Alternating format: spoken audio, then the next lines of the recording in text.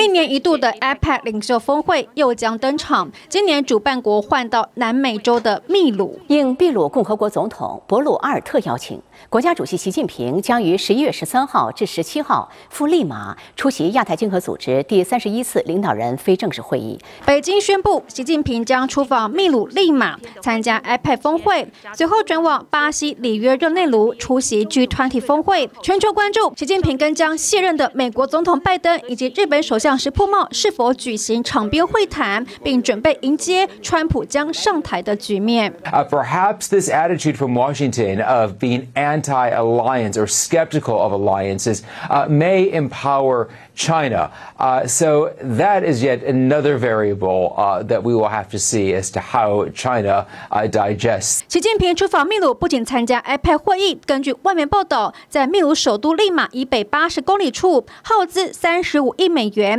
由中方银行贷款资助新建的前海港，是南美太平洋的第一个能停泊巨型船舶的大港。习近平将出席启用仪式。ve con mucho interés lo que significa posesionarse en el Perú y al costado de la novena economía del mundo que es Brasil, que es el principal abastecedor de soya.